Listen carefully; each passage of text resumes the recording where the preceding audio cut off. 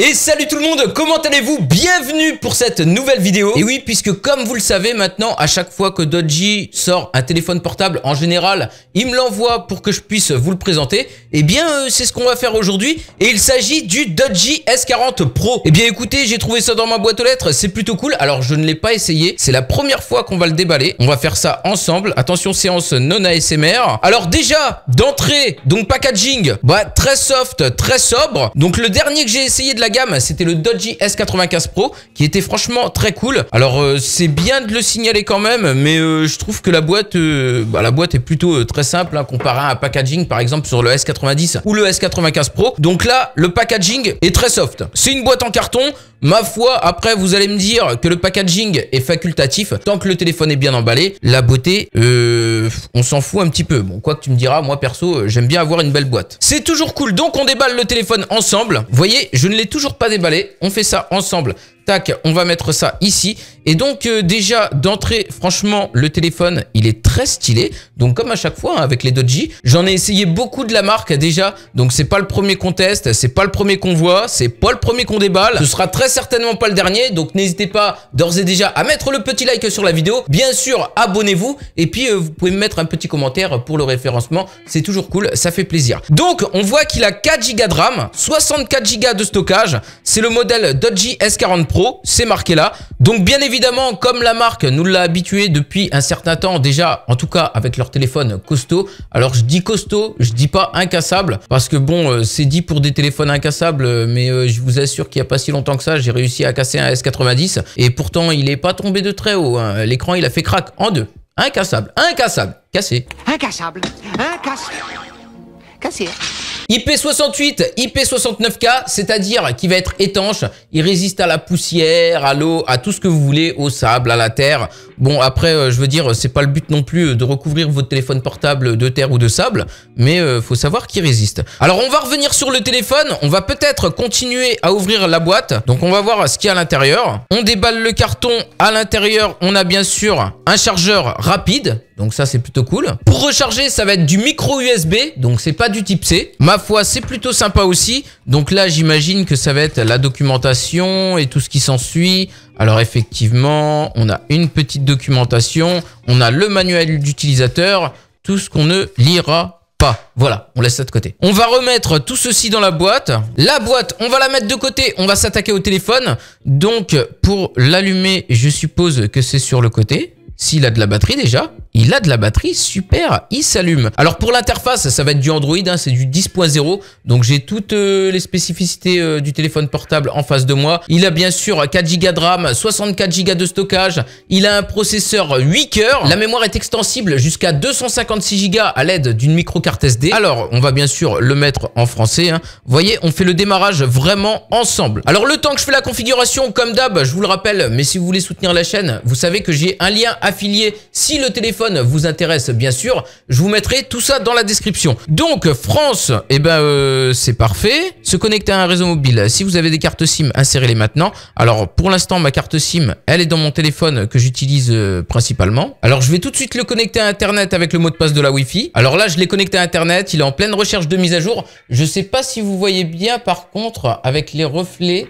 Donc je vais voilà, je vais le mettre comme ça. Alors après, j'ai pas enlevé la protection du téléphone, hein, comme vous le voyez. J'aime bien euh, les laisser parce que je trouve que bah ça protège le téléphone, hein, tout simplement. Ça évite de rayer la vitre directement. Après, bien entendu, par la suite, vous pouvez racheter euh, des films écran protecteur et tout. Euh. Donc, copier vos applications, vos données, non. Pour l'instant, on va laisser comme ça. En tout cas, déjà, rien que le design, bah, vous voyez que j'aime beaucoup. Hein. Ça fait très... alors, je le répète à chaque fois, mais ça fait très style téléphone genre Iron Man ou quoi, tu vois. Ça fait vraiment un petit peu téléphone futuriste. Je les trouve vraiment très jolis les Dodgy. Ils sont soignés au niveau du design. Donc là on choisit les moteurs de recherche. J'ai mis Google. Alors on peut définir un code de verrouillage pour le téléphone. Euh, donc continuer, c'est parfait. Ah ça c'est cool. On a le déverrouillage avec l'empreinte digitale. Donc on va voir si ça marche bien ça aussi. Remarque votre empreinte digitale peut être moins sécurisée qu'un schéma ou un code fiable. Bah euh, disons que normalement une empreinte digitale euh, t'en as qu'une quoi. C'est individuel à moins qu'on me coupe le doigt. Posez le doigt sur le lecteur qui se trouve à l'arrière du téléphone. Utilisez l'index. Ah, ok, d'accord. Donc, vous voyez, il est juste ici, euh, le truc d'empreinte digitale. Donc, on va poser le doigt. Voilà, je le fais plusieurs fois.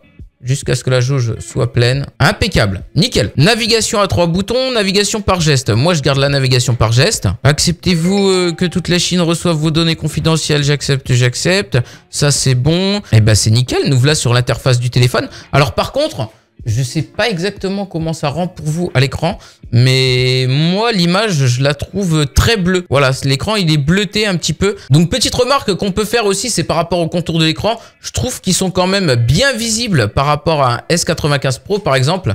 Donc euh, vous voyez que on a au moins, euh, je dirais peut-être pas un centimètre, quoique un centimètre en haut, un centimètre en bas. peut-être pas un centimètre quand même, mais et puis 0,5 euh, mm sur les côtés à peu près. Alors on va aller dans les paramètres. Euh, est-ce qu'il y a moyen d'aller dans l'affichage Oui. Ah, voilà. Adaptation de la luminosité. Euh, si je fais activer, non, donc ça, ça va être euh, par exemple si vous êtes en plein soleil ou quoi, le téléphone va paraître plus lumineux et vice versa. Si vous êtes dans la pénombre, il va se mettre moins lumineux. Éclairage nocturne, donc ça, je pense qu'on va l'activer. Attendez, si je l'active, ouais bah oui forcément. Bon, ça c'est un petit peu comme tous les téléphones, j'ai envie de dire. Le thème foncé s'appliquera également aux applications compatibles, ok Ouais, ça c'est plutôt pas mal. En tout cas, niveau fluidité, bah franchement ça marche super bien. Vous voyez que le téléphone, il est vachement réactif et tout, ça, il n'y a pas de souci là-dessus. Alors sur le côté ici, on a une touche.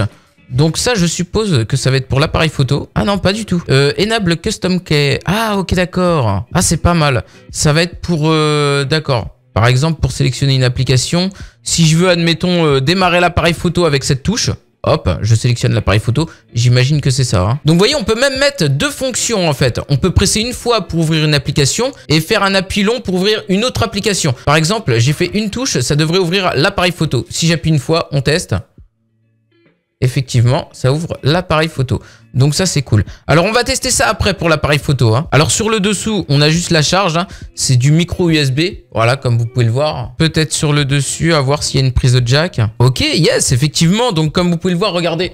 Il y a une petite prise de jack, donc ça c'est cool, on peut brancher nos casques et tout si vous avez des écouteurs ou quoi. Je trouve ça toujours plus cool que d'avoir l'USB type C avec un adaptateur et euh, de le brancher comme ça, donc euh, voilà. Ça, c'est cool. Une petite prise jack 3.5 pour écouter sa musique, ses vidéos. Par exemple, écouter les miennes, mettre un petit like s'abonner. Ça fait toujours plaisir. Et eh bien, vous pourrez m'écouter avec des écouteurs. C'est plutôt sympa. Donc, bien entendu, il y a la fonction Bluetooth. Hein. Bon, ça, j'ai envie de dire que maintenant, euh, c'est le standard sur tous les téléphones. Hein. Euh, on a la lampe torche. J'ai envie de dire que c'est presque un petit peu le standard sur tous les téléphones aussi. Ah, mais attendez, parce que là, euh, ça peut paraître super con, mais là, je fais un petit disclaimer. Je retire tout de suite ce que j'ai dit sur l'écran bleuté, parce qu'en fait, c'est le film de protection qui est bleu. Mais euh, quel con, l'écran n'est pas bleuté du tout. Il n'est pas bleuté, il n'est pas jaunâtre, il est de couleur euh, très bien, quoi, très lumineux. Donc vous voyez, en fait, c'est le film qui est bleu. Putain, merde. Bon, c'est pas grave, je vais laisser quand même le film de protection, parce que j'aime bien, ça protège le téléphone tout de même. Et euh, c'est pas trop dérangeant d'avoir un écran un petit peu bleuté. Le téléphone s'est verrouillé, ça va être parfait pour tester l'empreinte digitale. Non reconnu, non reconnu, non reconnu. Il a mis un petit peu de temps quand même. Hein. J'ai essayé 3-4 fois. Je réessaye une fois. J'ai peut-être mal placé mon doigt, c'est possible. Ouais, si, ça marche bien. Alors, au niveau de l'écran, ça va être du Corning Gorilla Glass, donc qui est plus fin, plus léger, plus résistant aux rayures apparemment. Je vous lis un petit peu la fiche technique de l'appareil, hein, ce que j'ai sous les yeux. Donc bien sûr, c'est du IP68, IP69K, comme je vous l'ai dit, résistant à la poussière, euh, étanche, euh, au choc, tout ça, tout ça. La diagonale de l'écran, c'est du 5,45 pouces. Je vois qu'on a la reconnaissance faciale aussi. On va tester ça. Hop, tac. Le tactile, au passage, marche super bien. Veuillez procéder avec prudence, car Face Unlock est généralement moins sécurisé que les autres options de déverrouillage. Oui, effectivement, si tu tombes sur un sosie qui te vole ton téléphone, c'est pas très cool quoi. super, j'ai le micro en même temps. Voilà, visage neutre. très bien. Alors. Yes Ça marche. Attendez, je réessaye. Voilà. Yes, réactif, très réactif. Bon, déverrouillage par le visage, et eh ben, ça marche super bien. Alors niveau batterie, on est sur une grande capacité de 4650 mAh, donc ça va être largement suffisant euh, pour faire euh, tout ce que vous avez à faire dans votre journée, voire même plus. Hop, le téléphone s'est verrouillé, ça me permet de retester par le visage. C'est impeccable, ça marche très bien. Alors, il est bien sûr compatible avec les réseaux 4G. Ça, j'ai envie de dire que c'est du standard maintenant sur tous les smartphones qui sortent. Hein. Maintenant, il y a même la 5G sur certains téléphones. Comme je vous le disais, on a un chargeur rapide de 10 watts, donc ce qui fait que le téléphone va récupérer 70% de batterie en seulement 40 minutes. Ça, c'est nickel. Par exemple, euh, si euh, vous voulez regarder une petite série, euh, boire un café ou quoi, eh ben, quoi que 40 minutes pour boire un café, c'est quand même long. Mais voilà, votre téléphone sera chargé à 70% en seulement 40 minutes. On va passer maintenant à un sujet qui m'intéresse bien, c'est la photo vidéo. Donc moi, je trouve que sur les smartphones, c'est quelque chose qui est primordial pour moi. Parce que bon, on aime bien, des fois, on se balade pas tous les jours avec un gros réflexe autour du cou, tu vois. Par exemple, quand tu te balades, je sais pas, tu sors en vacances, tu fais des petites sorties dans la nature ou quoi, et ben t'aimes bien dégainer ton portable pour prendre une super photo. Ça, c'est plutôt cool. Euh, je vais par exemple, tiens, on va prendre le Stream Deck de chez Elgato et puis on va tester un petit peu, voir ce que vaut le focus. Je vous mettrai les photos que je prends à l'écran. Alors ça, le bokeh manuel, c'est pareil, hein, faut pas le, faut pas l'abuser. Regardez, je vous en prends une qui est abusée par exemple. Voilà. Je pense qu'il faut beaucoup moins l'abuser le bokeh manuel hein, pour que ça fasse de belles photos. Genre comme ça, c'est pas mal. Voilà, ça laisse quand même un beau flou euh, en arrière-plan et tout. Alors là, je vois que c'est pas mal parce qu'on a un mode pro sur les photos, donc tout comme le S95 Pro qu'on avait testé dernièrement. Hein. Je vois que vous pouvez ouvrir ou fermer manuellement l'objectif, donc plus ou moins l'ouvrir ou le fermer. Vous pouvez régler manuellement les ISO, euh, la température des couleurs. On a un mode noir et blanc directement, donc ça c'est cool. On va tester le mode vidéo juste après, mais là je teste un petit peu avec vous le mode photo. Franchement ça va, il fait des belles photos. Hein. Je vous mettrai bien sûr tout ça à l'écran. Voilà, je teste un petit peu les flous en arrière-plan et tout. Et franchement, c'est très stylé. Il fait des très belles photos. On a également un mode beauté, alors qu'il va jouer sur les contrastes un petit peu, euh, vous voyez, bon, la qualité d'image, quoi. Ouais, en fait, le mode beauté, euh, c'est un petit peu genre, euh, limite comme un filtre Snap, quoi, tu vois. Ça te lisse la peau et tout. ça fait pas vrai, quoi. Je vous fais un petit exemple de photo avec l'objectif ouvert à fond et fermé à fond. Voilà, ça donne ça en gros. Donc franchement, il fait des belles photos. Au niveau de la vidéo, alors si vous voulez les spécificités exactes de la caméra, donc des caméras, parce qu'à l'arrière on a une double caméra, donc 13 mégapixels et 2 mégapixels, avec un grand angle de 86 degrés et un mode de prise de vue multiple. La caméra selfie, on va voir ça tout de suite, elle fait 5 mégapixels. Bah écoutez ma foi, vu comme ça, ça a l'air très propre. Donc on a le noir et blanc, on a l'image bien sûr, on a euh, le mode beauté, hein. on peut faire les vidéos aussi. Alors maintenant, un truc qui m'intéresse aussi, c'est la vidéo. Qu'est-ce que ça donne? Oula, déjà Ah, déjà, j'aime pas trop ça parce que je crois, alors si je ne raconte pas de conneries, à l'heure actuelle, il n'y a aucun téléphone Dodgy qui a la stabilisation numérique. Aucun. Et ça, je trouve que c'est très dommage. Attendez, hein, peut-être mauvaise langue. Une fois que je vais enregistrer. Non, non, non, non, non. Non. Pas de stabilisation numérique. C'est dommage, hein. Faut, vraiment pas bouger, quoi. Bon, après, ça reste très propre, hein. C'est franchement cool. Hein. On va voir un petit peu ce que ça vaut au niveau du focus. Ouais. Ouais. Ouais, pas mal. Alors, ce qui est bien, c'est qu'on peut prendre des photos pendant la vidéo. Donc ça c'est cool. Vous rigolez mais c'est pas tous les téléphones qui le proposent. Donc on peut choisir bien sûr la qualité de la vidéo, Full HD, HD, VGA, CIF. Je sais même pas c'est quoi. Alors VGA je connais, HD je connais, Full HD je connais. Donc là bien sûr nous on était dans la qualité la plus haute hein, quand je vous ai montré. On a la balance des blancs, on a le microphone, on peut le muter, interrupteur sonore, touche de volume, anti-scintillement. Après du classique, hein, on a un magnétophone pour enregistrer, on a un agenda, on a la radio FM, tous les téléphones ne le font pas. On a bien sûr euh, le déverrouillage du visage, donc ça on l'a vu. On a des petits jeux, on a l'alerte d'urgence, on a les paramètres, on a l'horloge, la musique. En tout cas, je vous dis, moi ce qui m'intéresse vraiment sur un téléphone, bah, c'est pouvoir téléphoner, envoyer des messages, passer des appels visio en bonne qualité et surtout pouvoir prendre des belles photos. Alors au niveau des photos, je suis pas déçu sur ce S40 Pro. La vidéo peut-être un petit peu plus. Bon après au niveau des photos, on va pas se mentir, on est quand même loin de la qualité d'un S95. Hein. Mais euh, franchement, euh, il se défend bien, c'est plutôt pas mal. Je vous dis vraiment, le S95 au niveau des photos, j'ai kiffé. Il est vraiment euh, super propre. Alors celui-ci aussi, il est super propre, hein, mais c'est pas la même qualité non plus. Après, on n'est pas sur le même budget non plus. Hein. Là, on est sur un téléphone à 150 euros. Et franchement, pour 150 euros, bah, il vaut son prix. Alors le truc qui ne sert à rien du tout, mais je vais quand même vous faire écouter la musique du téléphone. Donc euh, écoutez un petit peu la qualité des enceintes. Ça sert vraiment à rien, je trouve. Je vous le fais quand même, mais voilà, vous faire écouter euh, la qualité euh, des enceintes d'un téléphone à travers un micro, c'est pas le top quoi. Vaut mieux les entendre de ses propres oreilles. On va se mettre une petite musique libre de droit, bien sûr.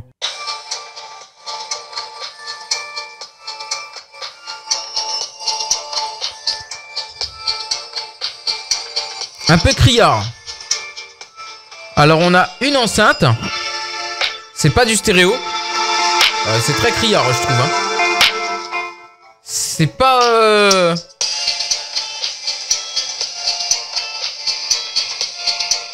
C'est pas terrible, je trouve.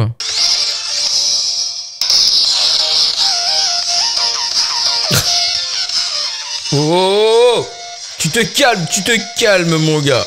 Euh, franchement, euh, bon, je sais pas si vous écoutez bien à travers le micro comme ça, mais le son, il est pas ouf de chez ouf. Je le trouve vraiment pas ouf. Voilà, encore une fois, je le compare au S95 Pro. Bon, on n'est pas sur le même budget, mais voilà, c'est pas ouf.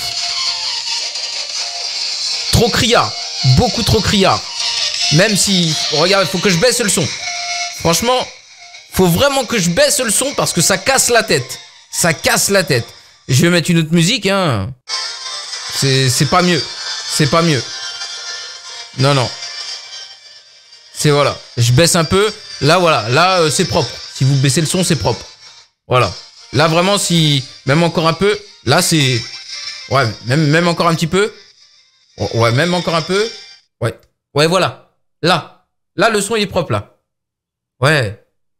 Là, il est propre. Ouais, là, il est bien. Non, non, mais plus sérieusement, euh, le, son, je le trouve pas ouf, quoi, tu vois. Voilà. Je pense que si vous voulez profiter de votre musique, euh, ça peut être cool de brancher une enceinte Bluetooth ou quoi. Sachant que le téléphone a le Bluetooth 5.0 de base, donc ça, c'est pas mal. Vous pouvez brancher une enceinte, un casque Bluetooth. Comme je vous dis, vous avez la prise Jack 3.5 qui est juste ici, donc pas de problème pour écouter votre musique préférée. Bon, après, ça passe hein, pour regarder une vidéo YouTube ou quoi, euh, voilà. Mais euh, écouter de la musique euh, à fond avec le téléphone en mode criard, euh, non, sans moi. Eh bien écoutez, on n'est pas sur un test approfondi du S40 Pro. Comme je vous dis, c'est un premier déballage avec vous, une première mise en route et tout. Je vous ferai éventuellement un retour peut-être un petit peu plus tard quand j'aurai testé un petit peu plus le téléphone. Mais en tout cas, franchement, bah pas déçu au niveau de la photo, au niveau de l'image, très bien. C'est propre, c'est fluide, c'est réactif. Un petit peu déçu par le son du téléphone que je trouve un petit peu trop criard. La vidéo, encore et toujours, pas de stabilisation chez Dodgy. C'est super dommage. Alors personnellement, j'attends leur prochain téléphone. Ce sera le S99 Pro et j'espère vraiment qu'ils vont penser à mettre une stabilisation quelque part ou quoi. Je crois que de tous les téléphones Dodgy que j'ai testés, il y en a aucun qui a la stabilisation numérique. Même le dernier, le S95 Pro. Alors j'ai pas testé encore le S96 Pro qui est sorti, il me semble. Mais euh, pareil, celui-ci, j'ai hâte de le tester aussi. Donc, à voir ce que ça vaut au niveau de la photo, vidéo. La photo, je sais que ça va être très bien. La vidéo, peut-être un petit peu moins s'il n'y a pas cette histoire de stabilisation. Moi, ça me gêne toujours un petit peu. Bon, après, si vous avez un gimbal, éventuellement, bon bah vous posez le téléphone dessus et puis euh, voilà, vous pouvez faire euh, des images très stables. Hein. Mais il faut encore racheter un gimbal. Bon, et eh bien écoutez, sur ce, j'espère que cette vidéo vous a plu. Si c'est le cas, vous n'oubliez pas, vous me faites péter le petit like. Vous pouvez bien sûr vous abonner. J'ai également ma deuxième chaîne YouTube qui se trouve dans la description. N'oubliez pas aussi qu'on est en live sur Twitch, vous pouvez nous rejoindre. Tous les liens se trouvent dans la description. Le téléphone, Twitch, ma deuxième chaîne et tout ce qui s'ensuit. Je vous dis à bientôt pour un prochain unboxing de Shidoji ou pas. Et ciao tout le monde, bye bye